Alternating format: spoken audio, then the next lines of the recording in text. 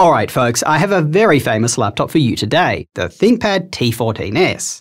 Now, since I value your time, I'm just going to tell you what it's like right now. It's a premium 14-inch laptop designed for business and casual users. We found it very comfortable to use, but for a laptop released in 2025, it's mediocre and expensive. It's kind of thick and heavy for this kind of device, its processor is nothing special, and its screen is bad, especially at this price point. However, since ThinkPads often go on massive sales, let's get into the video to see if this laptop is right for you. But first, you may notice that the laptop sitting next to me is not actually a T14S. It is an older X1 Carbon, which funnily enough is around the same size. We released this video about a week or so ago and incorrectly labelled its processor as a new AMD Krackan Point 1. It is not. It is very important that we bring you accurate information that you can trust to make important buying decisions. So, we pulled down that video to edit in some reshoots, which is what I'm doing right now. But unfortunately, we'd already sent back our T14Ss. Anyway, let me tell you a bit about ThinkPads. They are Lenovo's business range of laptops, but many individuals do choose to buy them. In fact, they have a cult like following. That is because they are very well built, they are reliable, they have great keyboards, the red trackpoint, point, and mostly excellent Linux support. If you are shopping for a premium 14-inch ThinkPad, the models can be a bit confusing, so I'm going to quickly do Lenovo's job for them.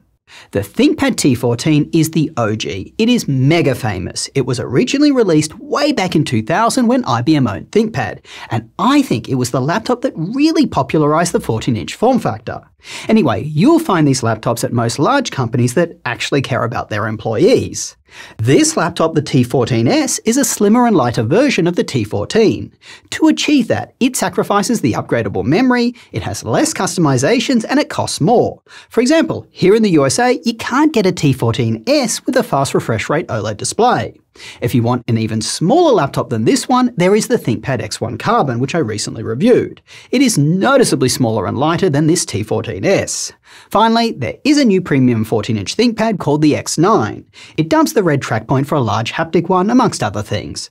We will have a review out on that laptop coming soon, so get subscribed with the notification bell on for that. Okay, so now we know where the T14S sits in the lineup. Let's get straight down to performance. This Ryzen 7 processor is a less powerful version of the Ryzen 9 processor that we've seen in many AMD laptops to date. It has less cores and less cache.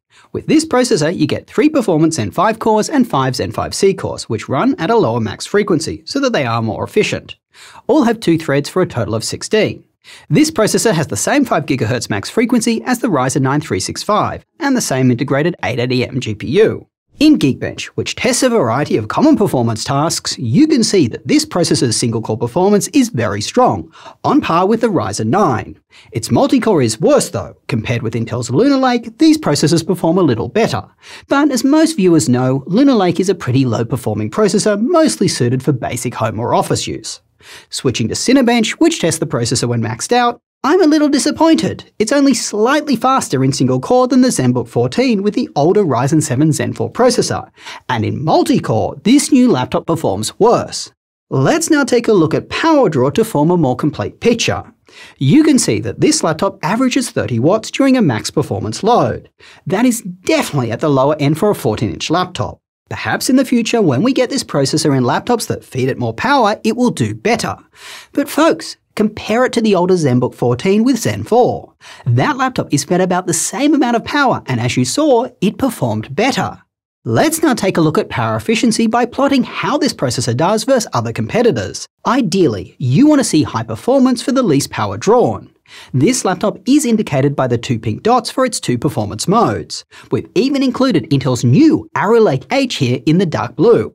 As you can see, this laptop performs a little better than Intel's Lunar Lake and slightly worse than Qualcomm Snapdragon X Elite. It kind of joins up with Intel's older Meteor Lake processor, and just like that one, it is significantly behind AMD's highest end Ryzen 9 HX370. Now, given this processor's somewhat disappointing performance, the question is, would you even want to run this laptop for performance tasks? Well, no. Under a max performance load, this laptop gets extremely hot. In fact, this is one of the hottest feeling 14-inch laptops we've tested. And during high performance tasks, fan noise is very noticeable. I think this is due to how ineffective a single fan cooling solution is, like the one in this laptop. The X1 Carbon has two fans, and even though its Lunar Lake processor gets a little hotter than this AMD one that is, the laptop as a whole, it feels cooler.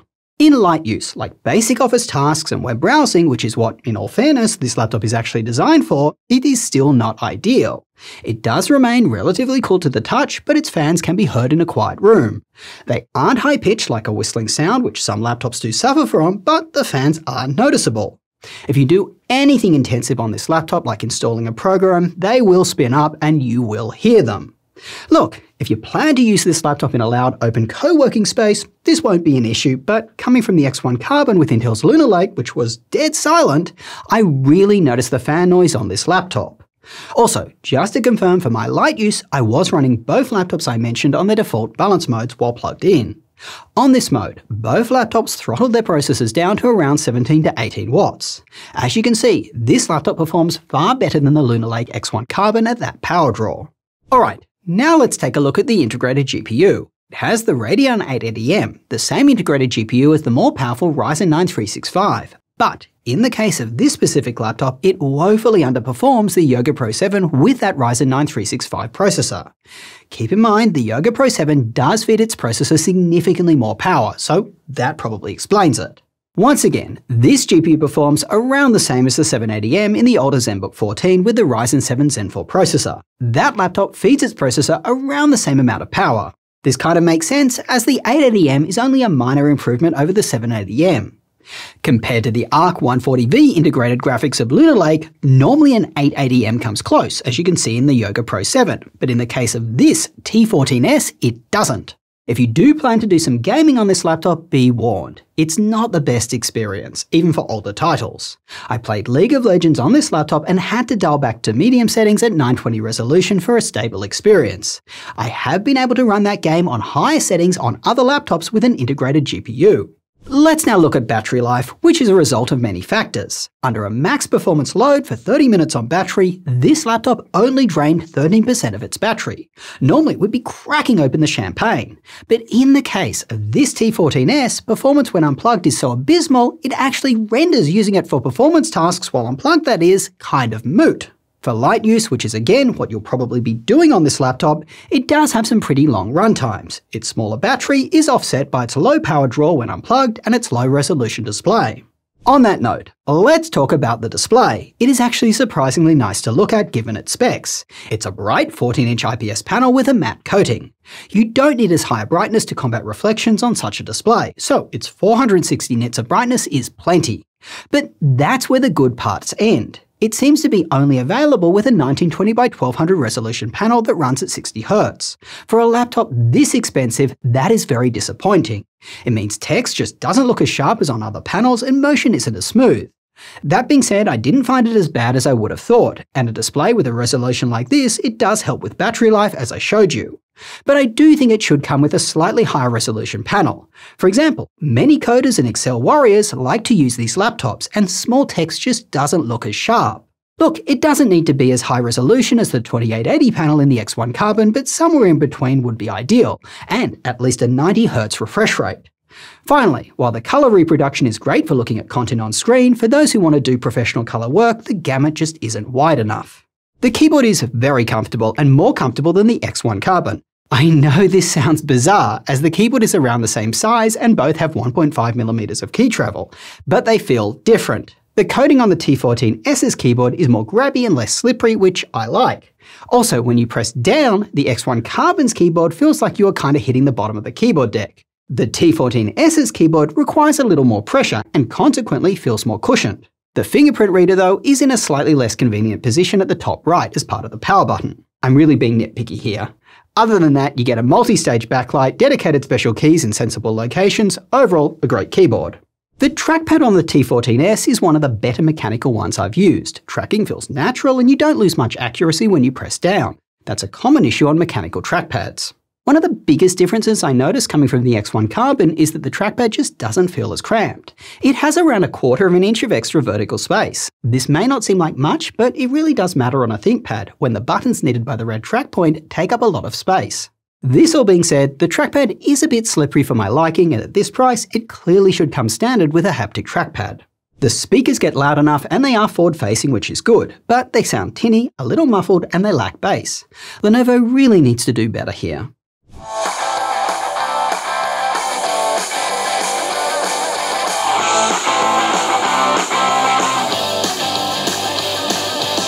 Here's how the webcam looks and sounds on the T14S. The colours look pretty decent, but honestly, for a 1440 webcam, it's pretty bad. I look really grainy.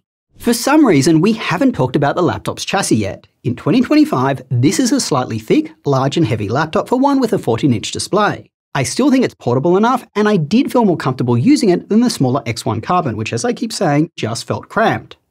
Build quality wise, the T14S feels rigid enough, and when you pick it up, you feel like you're holding a high quality laptop. When you remove your hands, you'll be pleased to see that its black coating is about as fingerprint and oil resistant as you're going to get. Looking around the laptop, it has a very good variety of ports. Two USB-A ports, two Thunderbolt USB-C ports that charge the laptop, an HDMI port, and a headphone mic combo jack.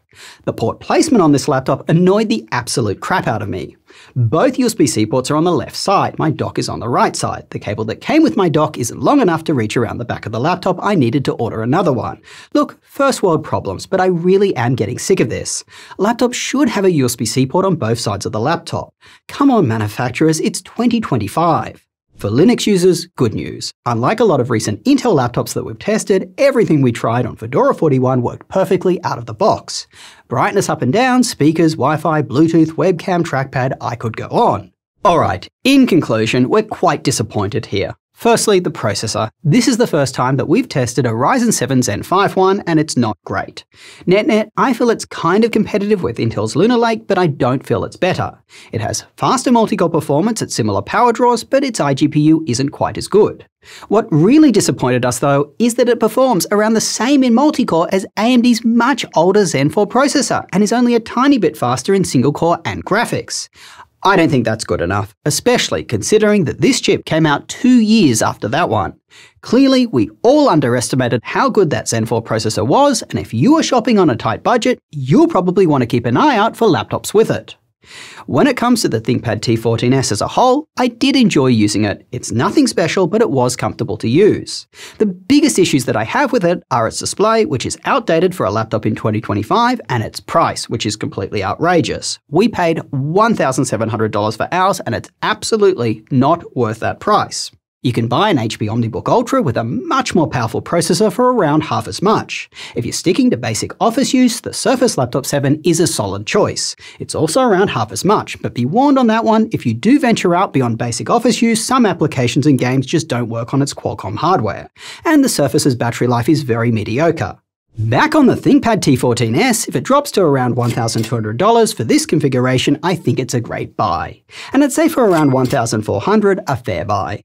So that is what we're going to enter into our website's recommendation engine. Our website actually takes into account a laptop's price as part of our recommendation process, and it only recommends the laptop to you if it hits the price targets we've set. If you're in the market for a laptop, make sure to check it out at justjosh.tech. We are trying to solve what is the best laptop for you? Where should you go to buy it to get the best deal? And when is the best time to buy it? Folks, we have a lot of new laptops in for review, so I'm off until next time. Go do something awesome with your day, and I will catch you later.